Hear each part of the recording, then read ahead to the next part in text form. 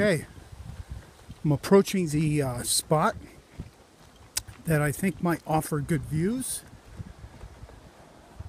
Once we get up here, we'll take a look, see what we got. I'm to pick something out here. Got a nice little area to paint, to set up, I mean, right in here.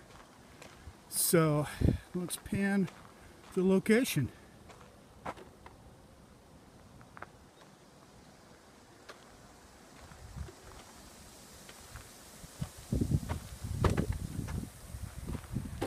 You have some smokestacks over there, which are nice.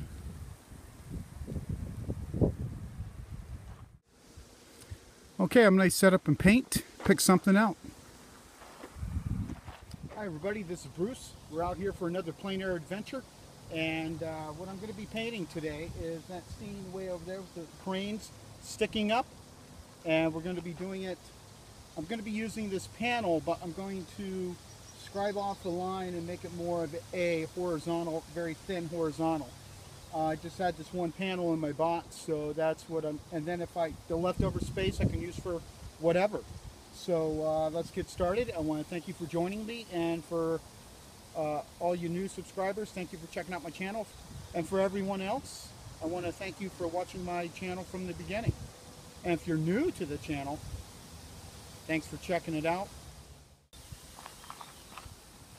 Okay, I've uh, done the scribing off the line. It's going to be a 6 by 12 and I put in line for the horizon, very low horizon, so I can get the cranes, the height of the cranes, and to have the cloud cover behind there. Hey everybody, thanks for joining me.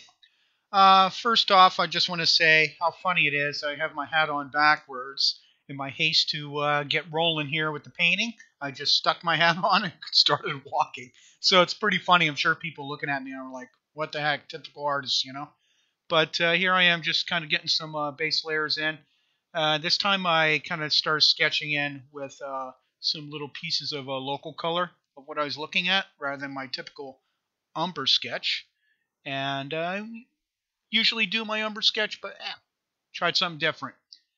Now here I am putting in some base tones for the shadows of the trees, trying to get a very quick impression of the scene that I can build on in future layers of paint. And trying to, you know, it's a pretty small brush. It's a nice flat quarter inch, I think it is, about my Rosemary and Company. Very good little workhorse. I tend to go to that a lot. And getting some sky in there. It was a pretty interesting uh, sky that day. And the way it kind of helped lead for some directional lines in the scene.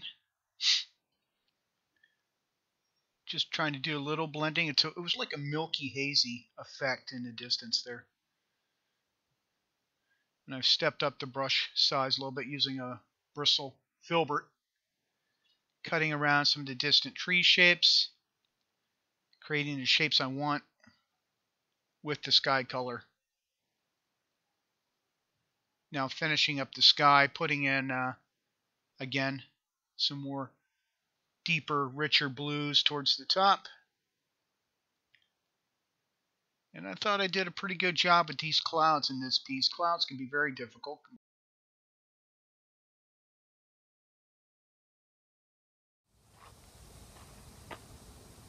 I'm being careful on the distant horizon uh, with the trees to cut around and then I'll use a bigger brush to feather that out like this.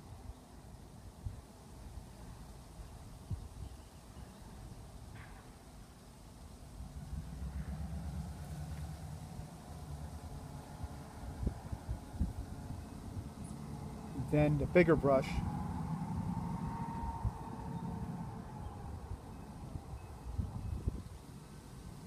to do that That way you don't have too much of a small stroke going up into your broader strokes.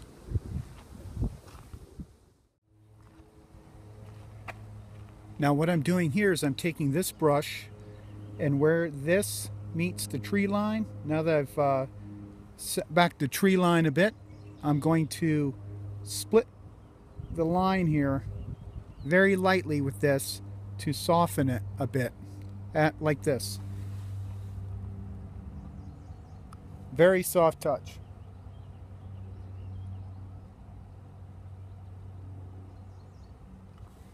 And then after a little bit of dragging I'll just wipe off the excess on a paper towel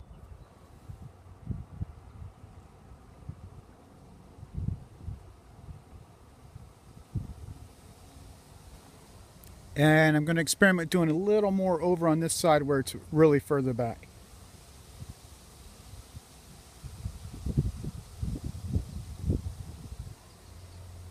Okay, now I'll be working on some uh, shadows in here.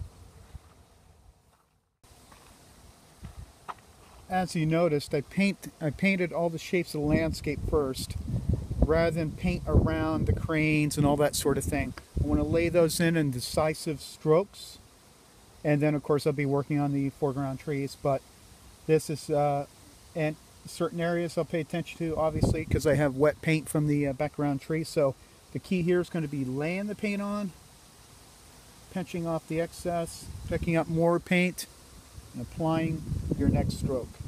So then I'll of course uh, detail out some more in the foreground. So let's see how this goes So I've mixed up some dark tones and I'm going to start with my darks because I want to get those to read right in, in the landscape for how far back they are. Then I'll know how light to make my lights. I don't want to put something too white or something that's kind of off in distance because even though it's sunny, there is going to be a bit of uh, atmospheric perspective and uh, haze and, and like veils in between objects as it goes back. Even though it's not real humid today, it's not as clear as it would be in the foreground. And the key here is going to be studying the shapes of the shadows and really study, decide, and plant the stroke on your panel. Try not to be timid. You can always plant it, do all your strokes, and if you need to adjust anything, pick up more paint, lighter, darker, whatever, and then go back over the the uh, area again. Don't fiddle back, back and forth like this. You'll start milking up the paint because of all this being wet. You could, if you wanted to, some uh, craft painting uh, supplies. You have this uh, chisel type of tool. It's like plastic nib.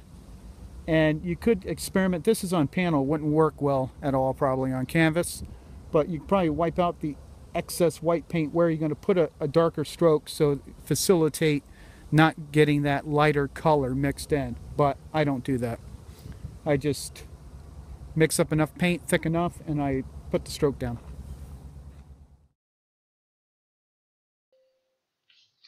And what I'm going to be working on here is the distant collection of like the dam and other little pieces of uh, buildings and structure in the distance. Applying, I always apply my darks first and put those in there and then I'll apply my lights next to that to have contrast. And of course the sun's out shining creating shadows so you will have contrast. And mixing up enough paint so when I apply the stroke it doesn't interfere because I have a light touch with my brush. It doesn't interfere with the distant tree line that's wet paint. The key here is to pick up don't go too much too long with continuing with the stroke or applying strokes because they'll start intermixing with the background, whatever color's behind it. So I pick up more paint and continue putting in heavy strokes. Be deliberate. Look at the shape, think of the shape, and then try as much as you can to put that shape down in one stroke. And you know, I can't really see every tiny little detail way over there in the distance, but I'm being suggestive about what's over there. And I think adds some nice interest to the scene. And just building up a little bit at a time.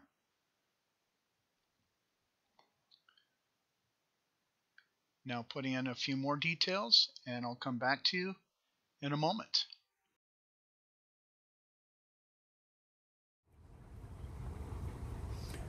I'm uh, thinning my, I'm using turpentine today only, and I'm thinning the paint just a bit so it's a little more fluid. Don't get it too watery, so to speak, because then it won't lay on nicely. So just enough to get it workable.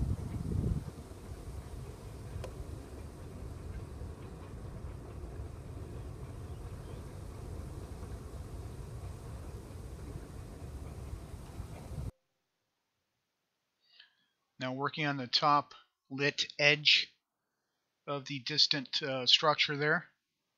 And I can clean up around that with uh, the tree color and the and the dark shadow color to clean up and thin out those lines even more. Uh, I kind of like to do that. Go back and forth with your brushwork. Very good way to do that.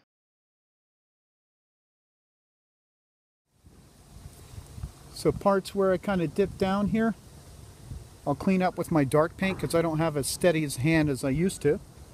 So that's okay. Now we can cut back around that light tone with the dark. Clean it up.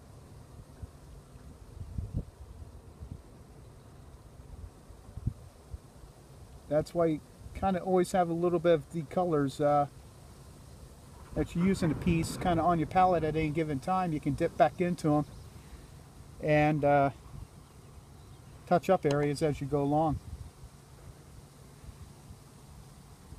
In some areas on this, I'm going to put in just little different tones just to have some interest because obviously I can't see every little detail way over there, but I'm going to be suggestive. Now let's work on this area with the cranes. Now I'm going to move the cranes a little bit because where they're actually at is kind of right now in the center would would be in the center of the panel. So I'm going to shift everything over here a little bit. Artistic license it'll still be believable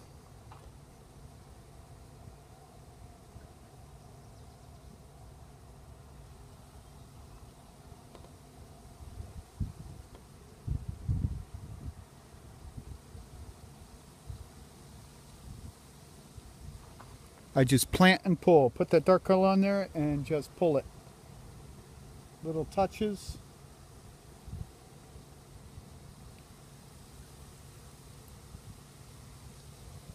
If you think it might be a little too dark, you can try to go back over it with a dry, a clean brush and try to get some of that sky to mix in there or just mix up a lighter value and put that in there. And I don't want the other crane and it's not either but be careful not to make the objects parallel to each other. Have a little interest. Have it over and angled a little higher.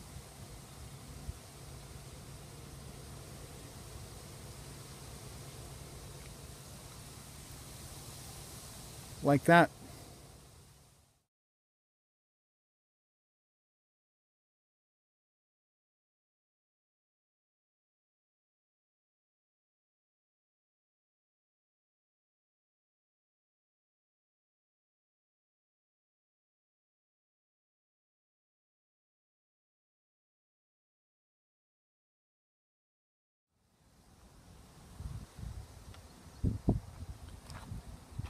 Now what I'm going to do for the little bits of white that I see over there is I'm going to mix some uh, titanium white with the uh, little bit of raw umber, dirty it down just a bit so it sets it back in space.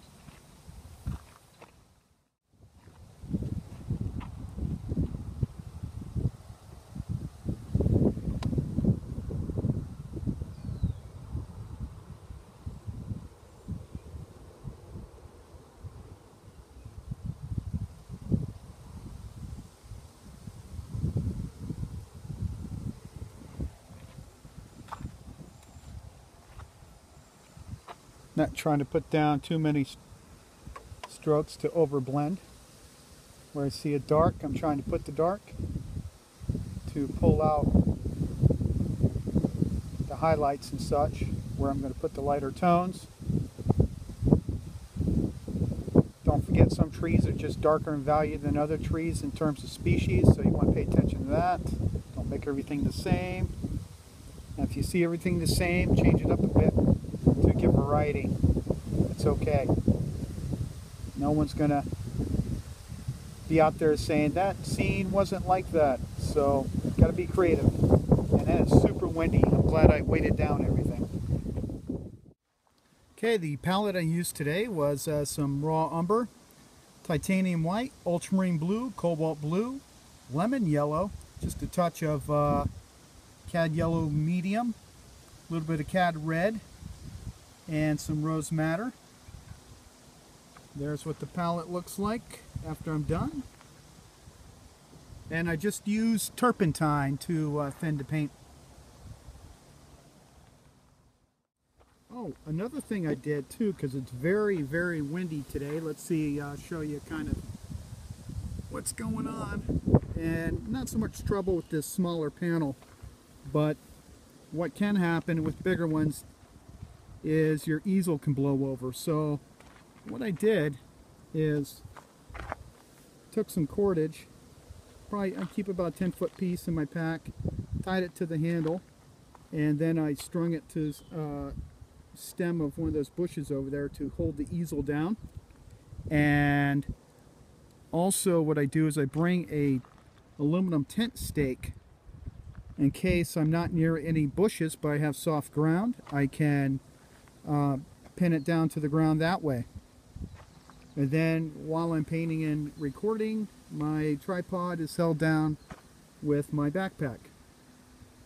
So I'm sure a lot of you that paint outdoors a lot have your little tricks. I like to hear them and it's really nothing uh, no science about it really but just helps so you can concentrate on the painting